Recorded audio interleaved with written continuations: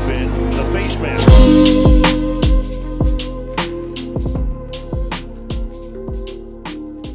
What's going on, everybody? It's Nick Payne with Face Mask Fantasy. And as we move into redraft for 2022, we'll profile some players and how we feel about them ahead of the season.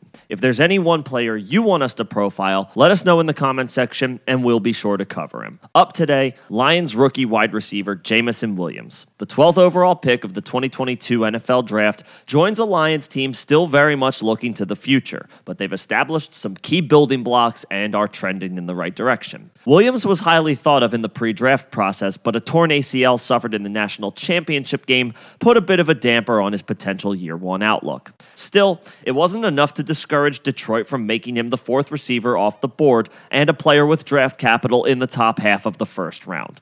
As I just mentioned, this is a team looking to the future, so they don't mind having to wait on a very promising player. But as Williams works his way back, what's his 2022 outlook and his chances to have a fantasy impact as a rookie? When he's at full strength, Williams offers elite level speed and very good footwork at the line of scrimmage. He's a bit of a one year wonder in college, but when you total 1,500 receiving yards and 15 touchdowns for a perennial powerhouse at Alabama, you're gonna raise some eyebrows.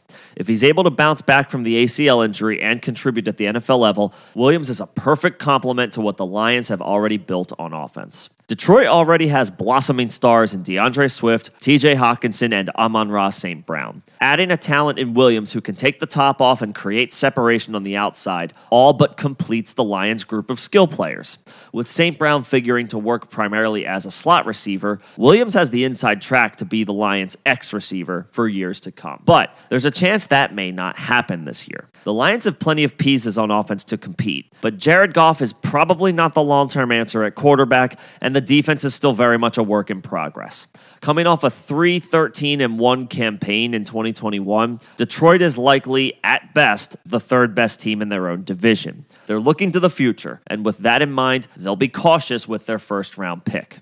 Williams is not going to be ready for training camp, which naturally puts him behind the eight ball as far as being a rookie trying to get up to speed with the playbook and getting into game shape. It's possible, maybe even likely, that he doesn't suit up for the first few weeks of the season. The Lions were clearly comfortable with taking Williams in the first round after reviewing the medical records following the ACL tear. So maybe Jameson's absence isn't an extended one. But the average return to play following such an injury is about 11 months, and he suffered it in January. That means a best case scenario might be that Williams can't play until November, and we can't rule out that the Lions might be out of the playoff race by then. With that said, I have serious concerns we could see a redshirt season for Williams and that his NFL career doesn't get started until the 2023 season.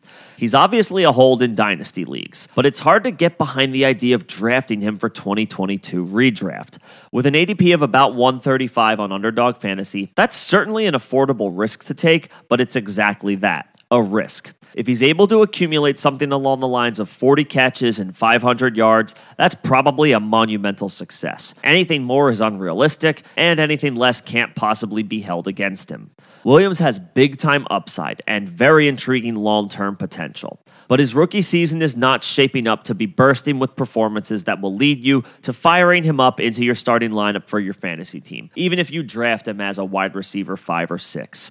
I am passing this year and then pouncing in 2023 when he's much more likely to be a huge value. That's a very quick look at Jameson Williams' potential outlook for his rookie season. What do you guys think? Put any thoughts you have in the comment section below, and we can have a conversation about this. We also host live streams on our channel each Tuesday and Thursday, all off season long, at 6 p.m. Eastern. Come hang out, come get any questions answered you may have, or feel free to bring up any general fantasy topics you wish to discuss. Till then, this is Nick with Face Mask Fantasy. Don't forget to subscribe.